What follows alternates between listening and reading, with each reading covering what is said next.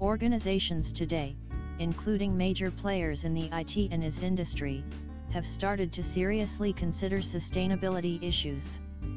At RST glance, the relation of IT and IS systems to sustainability appears slight.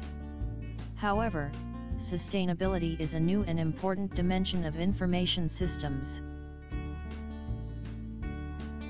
Customers, policymakers, and business partners increasingly require the monitoring and reporting of the organizational impact on sustainability. This is not considered by traditional information systems. As for IT, it also has an important relation to sustainability, especially concerning social and environmental aspects. Addressing sustainability can hence have a positive influence on health and safety among other advantages. You cannot get through a single day without having an impact on the world around you.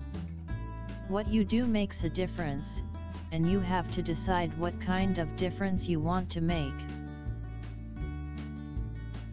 What you do today can improve all your tomorrows.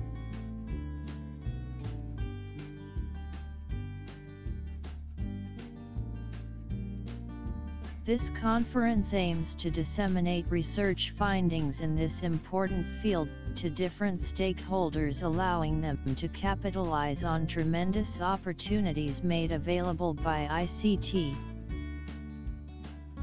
What are you doing to make a difference?